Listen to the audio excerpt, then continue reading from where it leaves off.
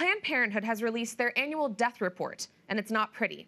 Unsurprisingly, abortions made up a whopping 96.6% of Planned Parenthood's so called pregnancy resolution services. The report also revealed that the entire abortion regime in Washington has amped up their efforts to use your money to kill babies. In the form of grants, contracts, and Medicaid reimbursements, Planned Parenthood has received $633.4 million in taxpayer funds. That's over $1.7 million a day.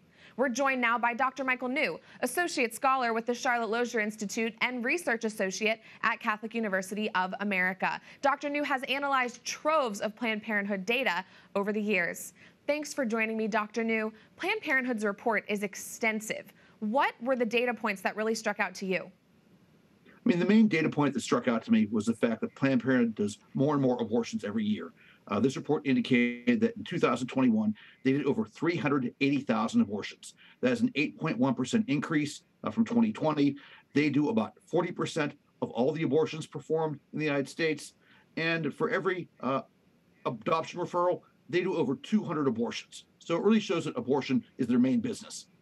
And what are your thoughts on how this report exposes how much our very own federal government is cooperating with Planned Parenthood?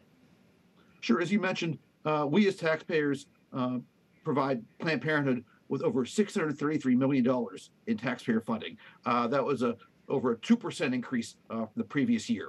So it really shows that uh, they're just more and more aggressive about getting more and more taxpayer dollars. And sadly, it's only going to get worse. Uh, one of the first things that the Biden administration did was repeal the Trump administration's Protect Life rule. And that means that Planned Parenthood will be now eligible for Title X grants. So in the future, we can look forward to Planned Parenthood getting more and more of our hard earned taxpayer dollars.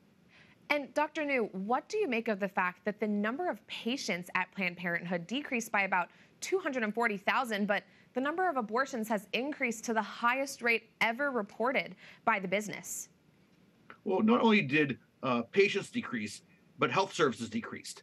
Uh, since 2020, uh, STI tests fell by 17.3%. Cancer screenings fell by more than 30%. Well woman exams fell by 39%. And pregnancy tests fell by more than 14%. So Planned Parenthood does more and more abortions every year and provides fewer and fewer health services. Yeah, and speaking of the so called health services that they provide, I want to dig into that a little more. Planned Parenthood claims they're not just about abortion and that they provide this host of other services, such as adoption referrals, as you mentioned. But what do the numbers in this report actually say?